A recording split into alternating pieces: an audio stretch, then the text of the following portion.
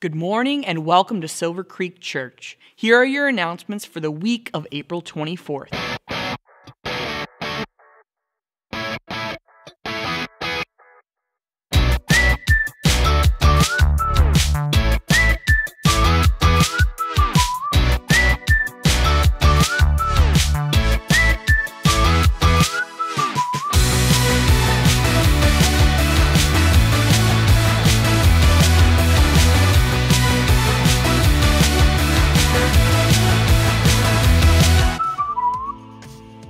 We need your help this Saturday, April 30th from 9 to noon for a church workday as we work to clean up the grounds here at Silver Creek Church.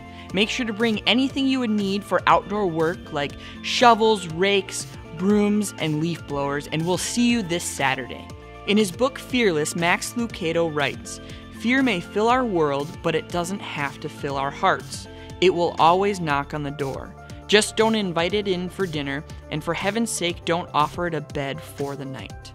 Next Sunday, we'll begin our May sermon series, Fear Not. And in this series, we will look at a number of fears that we encounter as Christ followers, but more importantly, we will look at the encouragement that God offers us in His Word.